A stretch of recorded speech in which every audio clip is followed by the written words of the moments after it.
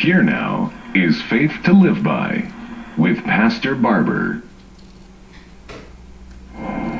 Welcome once again to Faith to Live By on this final day of an old year and on the doorstep of good things to come.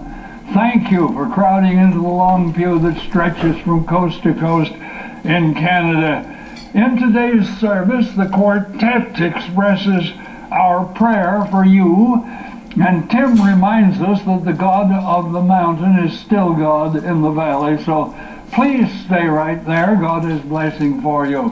Right now, Rick and Heidi join together to sing the lovely song, My Wonderful Lord.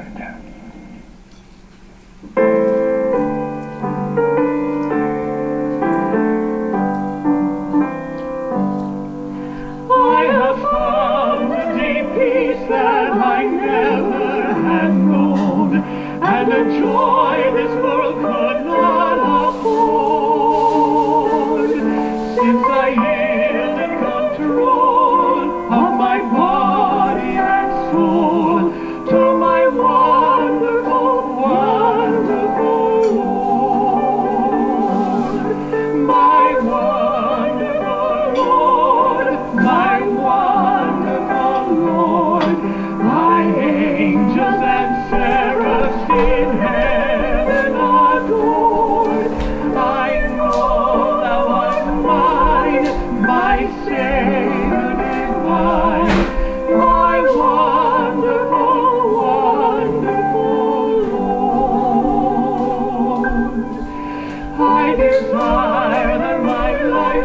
be ordered by thee, that my will be